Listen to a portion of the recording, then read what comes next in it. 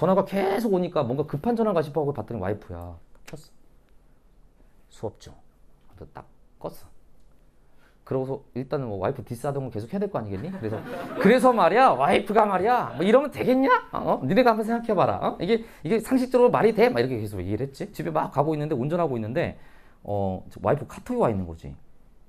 카톡이 와 있는데 카톡을 이렇게 봤더니 카톡에 음성 메시지가 와 있는 거야. 음성 음성 파일이. 그 뭐지 하면서 딱 클릭, 클릭을 딱 했어. 딱 눌렀어. 그랬더니 이제 나랑 똑같은 목소리가 막 나오면서 그런데 말이야 와이프가 말이야 이래가지고 되겠어? 막 이게 막 녹음이 된 파일이 온 거야. 그 뭔가 봤더니 내가 수업 중 하고서 딱 끊었는데 이게 안 끊겨진 거야. 그래서 와이프가 바쁜가 보다 하면서 끊으려고 하는데 갑자기 와이프가 말이야 그렇게 막 들리니까 녹음을 누르신 거야 이분께서. 그러니까 네 죄를 네가 스스로 잘 생각해 보고 생각하고 집에 들어와라 이런 거지. 이거 되게 무서운 거야.